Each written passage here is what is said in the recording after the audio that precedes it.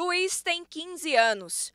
Hoje ele veio conferir a exposição onde estão expostos seis quadros que ele mesmo produziu.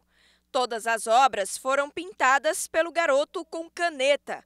Nesse processo, ele experimentou várias técnicas e hoje vê com orgulho seu trabalho. Não houve uma inspiração específica, mas justamente desse contato que eu já tive com a natureza, eu já tinha em mente cenários assim, então foi só colocar no papel.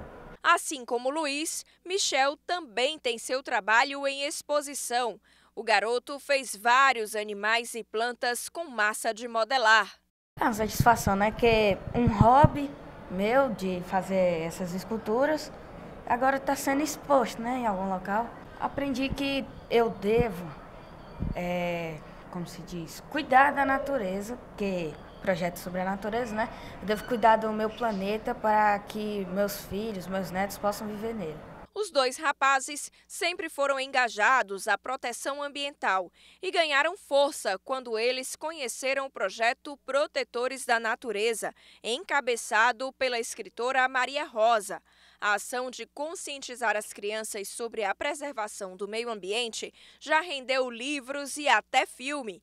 Em todos esses meios, as crianças sempre são o destaque. Na exposição, elas mostram tudo o que aprenderam e o que virou ilustração nos livros pintados por eles foi parar nas telas da galeria deste shopping em Fortaleza. Eu conversando com um dos participantes que está aqui, o Luiz, ele me mostrou uns desenhos novos, né? E eu achei muito bonito e a gente já tinha conversado alguma coisa sobre, sobre os desenhos aqui no Shopping Benfica. Aí eu trouxe a ideia e o Shopping Benfica abraçou e apoiou e estamos aqui, né? A exposição fica no shopping até domingo e a entrada é gratuita.